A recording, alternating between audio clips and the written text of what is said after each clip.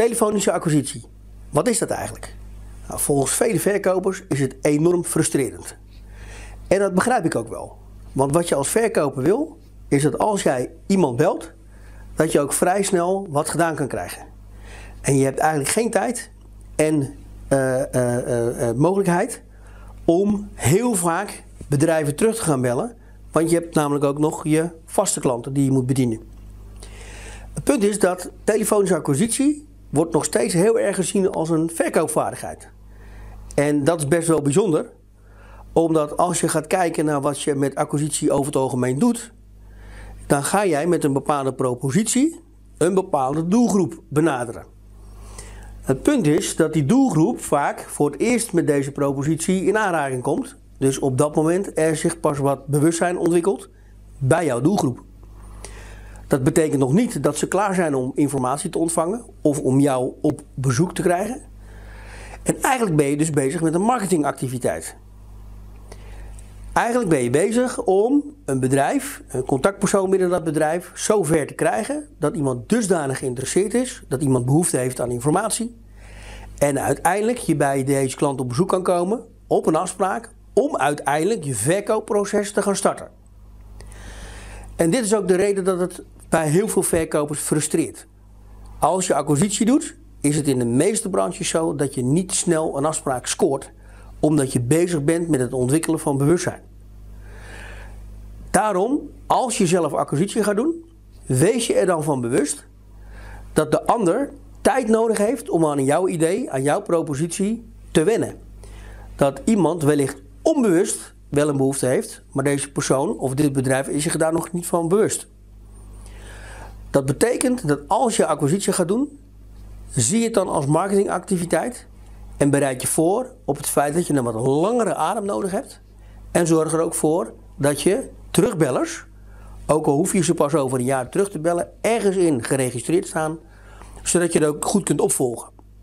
Wat het voordeel van acquisitie doen, is dat als jij je bestand goed hebt opgewarmd, dat je op een gegeven moment in een situatie komt dat je aan opvolging doet. En dus aan het creëren van bewustzijn en aan het enthousiasmeren van het vragen naar informatie. Met de volgende stap dat jij op bezoek mag komen.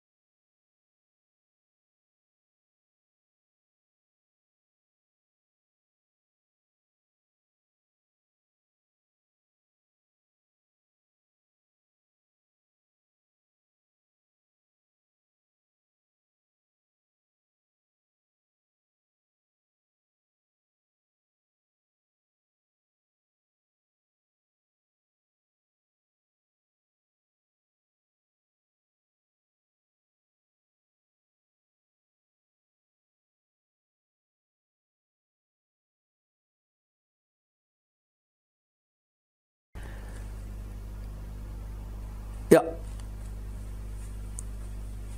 Ik weet het niet. Kut. Doe nog eens een keer om actief een afspraak te willen maken. Als, als einde, als. Ja. Ehm. ja, om actief een afspraak te maken. Nou kun je je afvragen, moet een verkoper dat doen? Die zich ook bezig moet houden met zijn vaste klanten? Of is het eigenlijk ook nog steeds een marketingafdeling? Een, een marketing godsamme coleren? Nee, dit moet helemaal overnieuw. Klaar. Echt, spoel hem maar weg.